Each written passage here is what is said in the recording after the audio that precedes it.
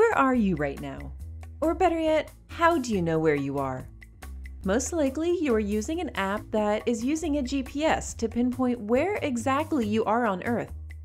But what you might not know is that behind your favorite navigation app is an invisible infrastructure of systems working together to provide you an accurate location.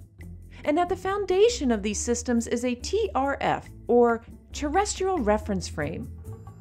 So, reference frame is uh, fundamental to any kind of mapping, uh, location, positioning, navigation application. That's Dr. Stephen Merkowitz, NASA's Space Geodesy Project Manager. Simply put, geodesy is the science of measuring and understanding the shape of the Earth, its orientation in space and gravity, and how they change over time.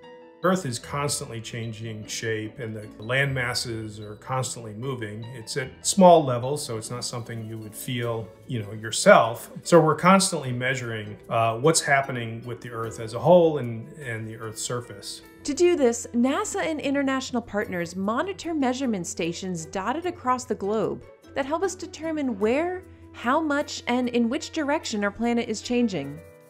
Since the Earth's surface is always moving, any measurement isn't just in a fixed coordinate system. It needs to take into account the fact that it's related to the landmass and where that landmass is at any given time. And just like a coordinate system plotted on a piece of paper, the TRF has an origin, or in this case, the center mass of the Earth called the geocenter. Because of this, many Earth observing satellites orbit around the center mass of the Earth, not the Earth's geographic center. So it's critical for scientists to pinpoint where that is to make sure our Earth observations are accurate. One complication is that the center of mass of the Earth is constantly changing over time with respect to the Earth's surface. Earthquakes, volcanoes, or even atmospheric pressure changes all impact where exactly the center mass of the Earth is. But by using a network of ground stations equipped with telescopes and lasers that fire pulses at specific satellites, Scientists can calculate where the geocenter of the Earth is at any given time to a few millimeters. This is a very important product that we generate for orbiting satellites, particularly for missions that are either doing mapping the, the gravitational field of the Earth or uh, mapping the height of the Earth's surface, whether it be land, vegetation, or sea level.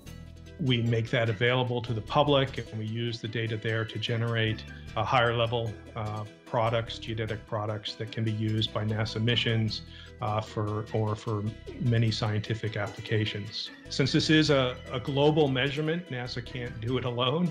We rely on the global community to um, provide all the data that's that's needed to provide global coverage. Having an agreed upon international system is what makes measuring our planet possible, whether it be from land, sea, air, or even space.